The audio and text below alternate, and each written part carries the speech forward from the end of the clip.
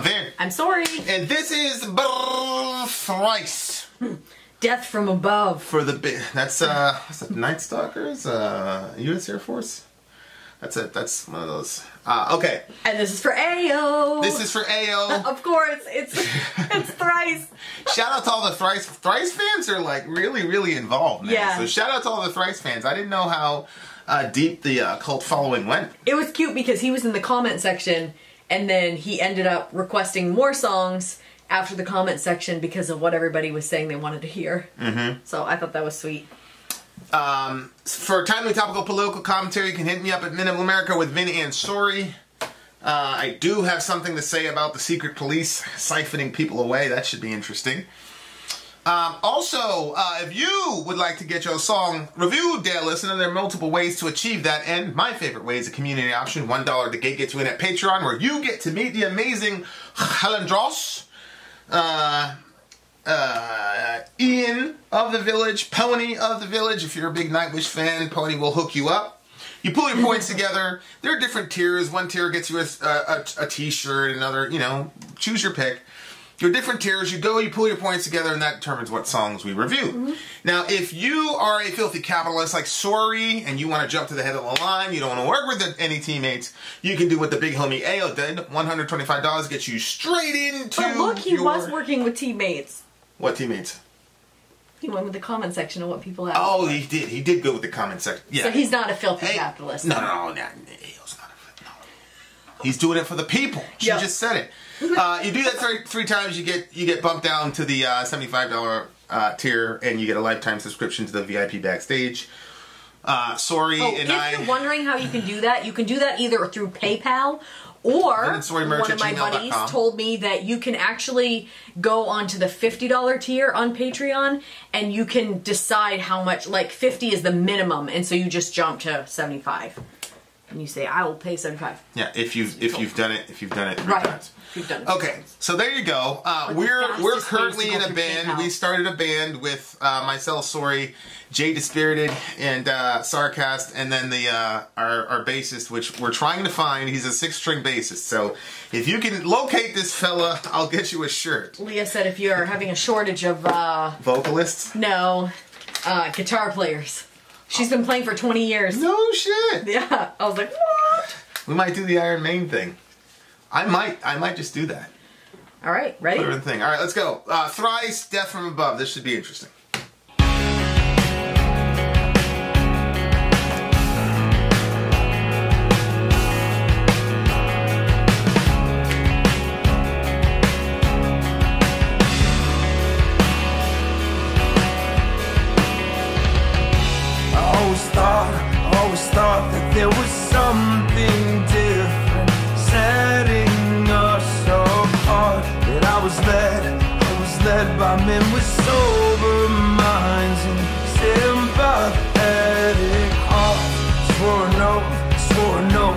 Never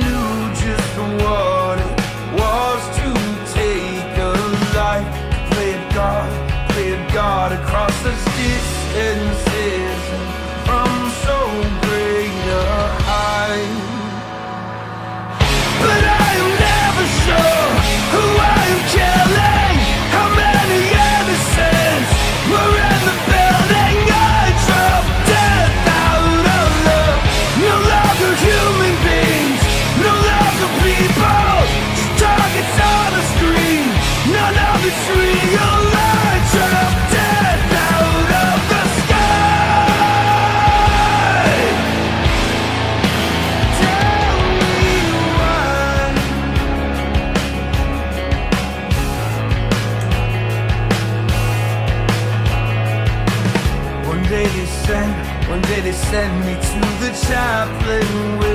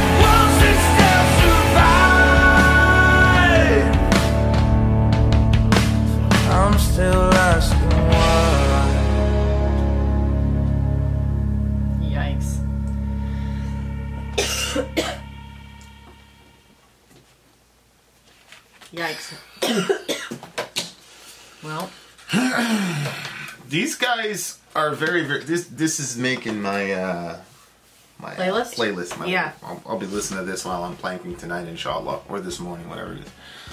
Um, it's gonna be this morning because it already is.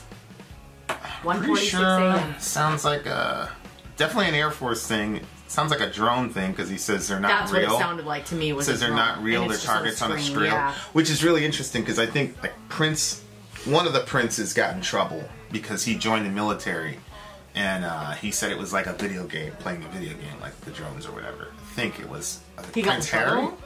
Oh yeah, people are like, what do you mean a video game? What are you talking about? Well, You know what I mean? Yeah, he suggested. I feel like that they're probably already out of touch with reality because they have so much privilege, and then I forgot which prince it was, but go ahead. You know what I mean? Like they're already such a privileged people, and already not like the, having the like feeling for the lesser guys. So then you put him in a situation like that, and so he's looking at it as a video game because, you know, Yeah, but he was he joined the military. yep, So, you know, that's not he didn't have to do that. Like, you know. yeah, yeah, yeah. I, I hear what you're saying. Although I, a lot of guys who are, you know, Gross, uh, Grossman talks about this in that Killology book, um, where they talked about the history of combat and warfare, particularly when it comes to killing people. Yeah, and um, you know, you know, we talked about originally there was a bullseye, and then it evolved into a silhouette, and then the silhouette was just a random person, and then they turned the silhouette into a person that looks like the people you're gonna fight, yeah, so that you can, you know, you can go out there and, and do what you do, you know. So I hear you. I hear you what what you're saying, but it just seems to me to be a guy who was successfully trained because you'll hear infantry guys, dudes that are you know putting people down. They're, they're like it's just like in training. It's just a silhouette, and you pop it, down it goes.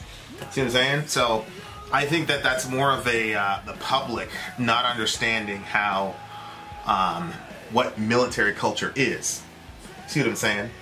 Because if they did, then they would understand that, you know, what else do you expect them to do? You expect them to say these are fully human Well, beings yeah. that we're killing and whatever? Like, yeah, again, read, if you read Grossman's book, you'll see, like, the minute you have that in your head, that's the difference between life and death. So,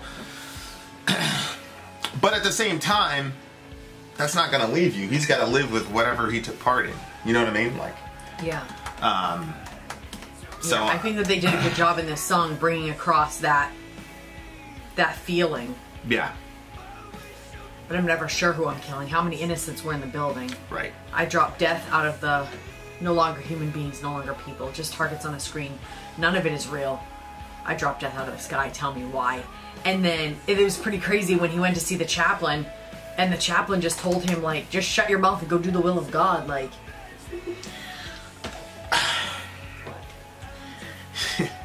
I was I was uh I was watching uh these dudes were about to go off and and uh kill people. I mean they were bad people. And the dude gets up and he says, Hey, uh square it however you want with whatever God you worship, we roll out blah blah blah blah blah. So he basically said, "Go in your tent, read your Bible, find somewhere to square what we're about to do, but we're about to we're about to drop bodies." So, and it was just a very strange moment for me to like see that, like, yo, like what? Wait, what? like, you know, um, yeah, that that's why. that guy must have been in it for a while. I mean, again, it's one of those things where it's like, what are you gonna do? You know, you're gonna tell these kids, these are 18, 19 year old kids. Like, you're gonna tell them, hey, look, man, we're you're about to go, No, I go hear you. against hear everything you. your religion says. Yeah, Let's get out. Like you, you know, you have to have that sort of calloused, you know, whatever. Just Yeah. a horrible, horrible situation to be in. But yeah, like I could definitely see like this being a true story. I, not for him. I don't think he was ever in the military, but I can definitely see that this is like that's what a chaplain would say. Mm-hmm. Because what other choice does he have? Like if you're about to spin out in 20 minutes, Like that's not the time for the dude to be having an ex- existential crisis. You should have Right. really thought of that about that before you Yeah. joined the military and before you selected a combat MOS. Right. Like you you knew, I mean if you if you sign up with a con- combat MOS post 9/11, like you know, You know. the chances are extremely high you might be killing someone. So I get why the the chaplain would say that in the sense of if this kid is having this like philosophical and moral quandary 20 minutes out, he's going to be a liability on the field. Oh, absolutely. He's going to be a liability. But that's He's- not where this situation is because their target's on the screen. True story. You're right. You're right. Um, but that could still make him a liability because if he, He drops it too early Yeah, and kills cities, or he drops it too late and some of the boys die, I mean, horrible situation to be in. So, I actually really resonate a lot with this verse, like especially like the the first two months. I always thought I always thought that there was something different setting us apart. Like this is the Oh, American know. exceptionalism. This is and it's one of those things where like when you run into your European friends, particularly Peter, Peter's country, they're not very big at. He's an Austrian, of course, radical patriotism. You know what that led to. Um, but aside from Peter, there's so many Europeans that don't understand the American mindset. It's like, oh, there's a gun control problem. Just make it illegal. Like, that's not how Americans operate, man. Like, Americans believe that they are the, we're the exception. All you other people have to give up your guns to the government. Uh-huh. You silly Japanese going around there with the with the with the masks. You know, Japan only has like uh, 958 COVID deaths and we just you know we had 946 a couple days ago like that's how I was showing you that graph. I'm like yo we are pretty much in a one day what japan is since the beginning of the outbreak. These americans are just but I, I didn't know that at the time as a young imp- impressionable individual you know mm-hmm. especially you're you know being led by men with sober minds and sympathetic hearts. Like it's a real you know, during the Bush administration, Republicans are very good at positioning themselves as being pro pro soldier, you know, that type of thing. Um, but I think there's a difference between being pro war and pro pro soldier, and a lot of times that is, What do you mean? well, being pro war means that anything that happens forever for whatever Yeah. reason, let's go and let's stay there, let's not pull out, yada yada yada. When you talk about Trump and Yeah. what, Afghanistan. Being pro soldier means that you want what's best for the soldier. Well, what's best for the soldier is for him to come home if, if he's fighting a war that Yeah, that is useless and, and meaningless, yeah. right? So I think the Republicans, I mean, I think Trump is probably the most pro soldier president we've had in the last three or four terms because he's like, no, we're not going to go to a war with Iran. Mm-hmm. No, I'm not going to act on ridiculous, faulty intelligence and, and screw with that peace deal that we have with them. Like, we're going to stay the course. and We're going to bring the guys home. Mm-hmm. Yeah. that's what he said he was going to do. He's going to Yeah. end the forever wars. Um, but you know, I was having a conversation with uh, Selah, and you know, she was talking about coronavirus. She's like, "We should bomb China." You know, she's been, she's had a My steady, gosh. steady diet of Ben Shapiro. She's like, "We should bomb China," and I said, oh, "Well, what happens if you bomb someone is that more likely than not, you're going to kill innocent people." And she's like, Ugh. But then I told her, and this is true. It was a, it's a very, very common tactic, especially once they figured out the drone. That's our. T- Selah is our ten-year-old. Yeah, pretty sure they know. I don't think everybody knows all of our family. Oh, that's true. That's a good point. um, so I was explaining to her that look, when you when you bomb someone, the bomb does not know that this is a civvy, this is a Yeah. Uh, but I, you know, I said conversely, and this is just a documented fact.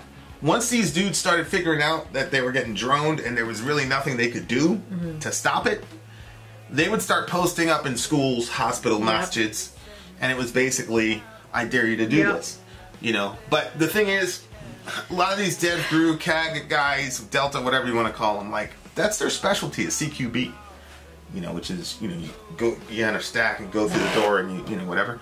They're eh, they're they're like that's what we do. Mm. Like let us go there and, and clear the hospital. Don't blow up the hospital. Mm. You know. Um, but there were a couple times when people were like, "Oh yeah, you're going to the hospital."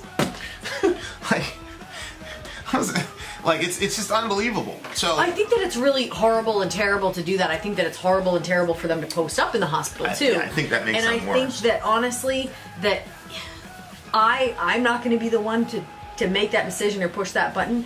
But if there are a couple people that are willing to do that, that maybe that would kind of deter them from doing it. it wouldn't. Great. Because I'll tell you why. Because it has a double-edged. It's a double-edged sword.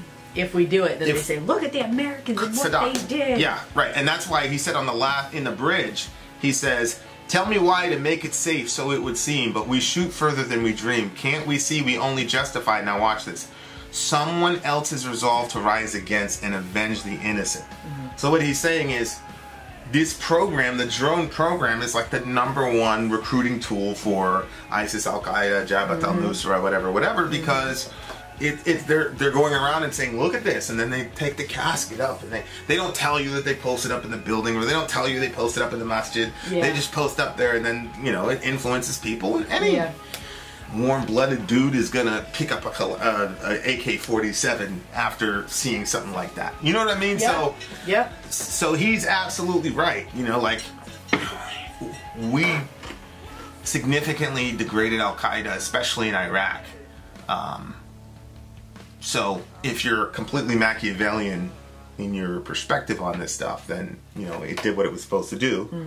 And it's the whole conundrum of yeah, you're killing a bunch of innocent civilians, but how many civilians would get killed if this guy's still alive?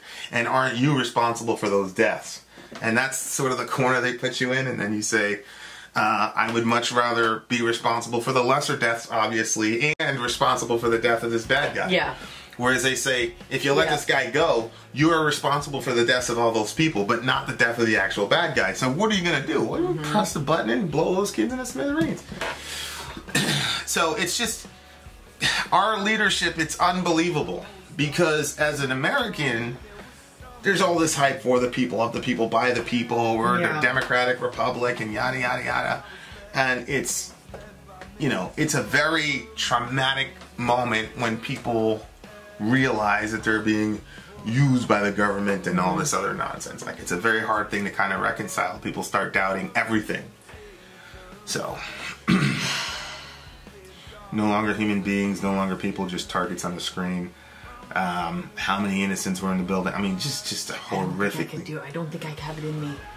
Well, I mean, I say this to people all the time. Like, if that guy doesn't die, this guy's a hitman, right? Let's say the guy's a hitman, and then he puts, you know, Orion on his hit list. You wouldn't bomb that school if he was there?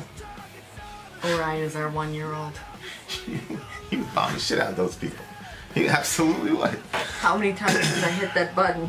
You, 100 times out of 100, you would. No, I'm saying like the bomb keeps oh, getting Oh, bigger. right, yeah. More times. I- Well, that's that's the thing. You know, so psychological operations is done, you know, to our enemies. It's also done to our c- citizens, and it's definitely done uh, with the military. And it's not that difficult when you're talking about 19, 20 year old kids who are, you know. And, and the other thing is, is just. I'm not gonna say that. But I play at God, play at God across such distances and from so great a height. It's like one of the craziest things. Like here you are sitting in your nice comfortable seat in Washington or whatever it is, and then you get to you get to go and deal with death from above, and it, it is sort of a God complex, for sure. Mm-hmm. But it's like, what are they supposed to do?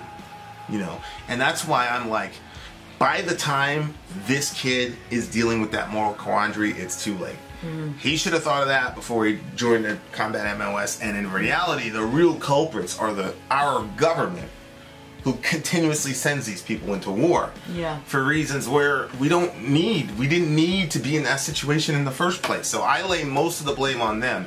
Definitely, there's some sociopathic whatever in every category, but we keep putting very young people in life or death situations I, but I also crazy. think that there there must be some people that haven't necessarily like maybe some people went into it thinking that it was black and white. You know what I mean? Like there's a bad guy and we're the good guys and we're gonna do the right thing. Yeah. And and we're gonna better humanity because of what we're doing. Like we have to make sacrifices, but we're willing to do it.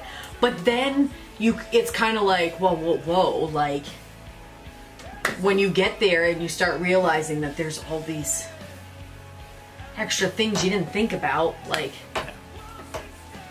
you know especially if they're young and they sign up and they're i don't know You, you don't stand a chance. Yeah.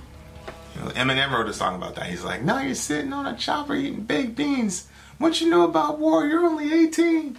You know, like, it's just great. Like Jimmy Dore was saying, like, there are kids in Afghanistan right now, 18, 19 years old, who all they know is their country's been in conflict with Afghanistan. That's their entire conscious life.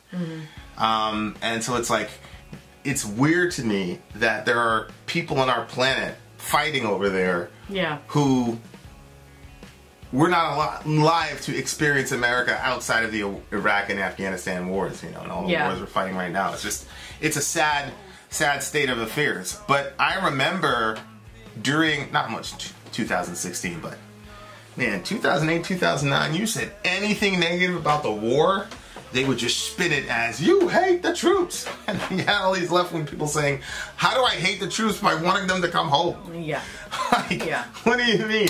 Uh, you know, it's it's a it's just this crazy world we live in, and unfortunately, it's the civilian or the the the foot soldiers on both sides and the civilians on both sides that end up bearing the consequences of our horrible leadership and their horrible, cowardly, hypocritical leadership.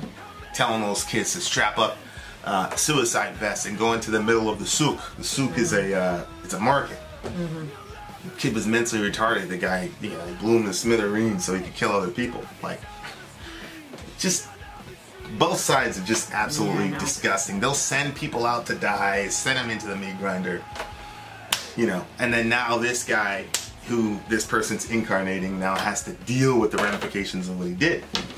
Just mind-boggling stuff. But they did a very, very, very good job with it. Um, the next song is called Whistleblower, so that's interesting. Um, so I don't know. I think I think maybe this is a continuation, maybe from the previous song or whatever. But man, tough stuff. i what think it you? was an important song i also think that it i liked i really like the band I like uh, that Justin Kensrue. Is that his name? Kensrue. dustin yeah Yeah, yeah, he's the vocalist, lyricist, rhythm guitarist in the post-hardcore rock experimental band Thrice. I mean, the guy is extremely talented. obviously yeah Well, that just reminds me of the conversation we had in the studio. I can't come up with all the riffs and the writing and the bass and the blah blah blah blah blah. Uh, gonna try. What did you give the song? um it's a 9.3 for me This is a ten for me. i knew it was gonna be a 10 for 10. you Very very good song. Yeah. Very good song. So moral of the story is. Um, play video games, not drones. Because drones are not video games. Tell the truth. Right. Vin out. Sori out Gone.